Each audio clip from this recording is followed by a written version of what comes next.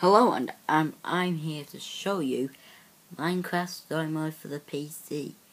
Um, I'm just need to do this. I need to do this something quick, so uh, I'll be back shortly.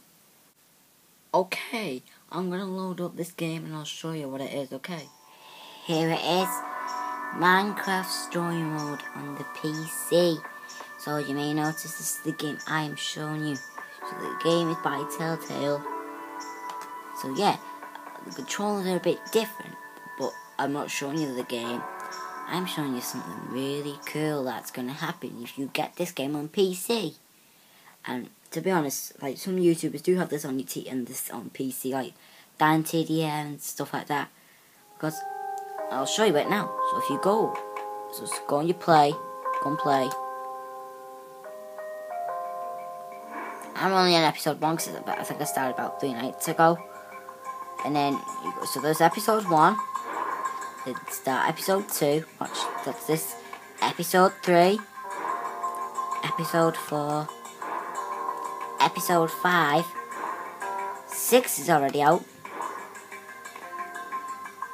So now, the last, oopsie daisy, I um, accidentally pressed the wrong episode then. So when I went on, when you go on your menu, where you go on, your, on the PC, where you go on your game menu, for this, where it says episodes, it's not there. Now look, look at that.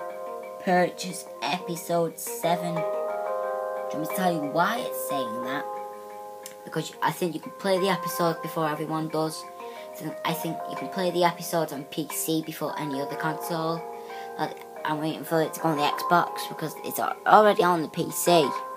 Look, an episode 8 of Journey's End, I had to look purchase episode 8 of Journey's End. Now, on other consoles, it does say episode 8 coming soon, but on the but there's on this one on the, every PC, it doesn't say that. It says purchase episode 6, purchase episode 7, purchase episode 8. So yeah, that's Minecraft Story Mode. All episodes unlock straight away. Once you first start the game, all your episodes are unlocked straight away, so you do not have an episode selection where you go in it and you install it or buy it. So there you go.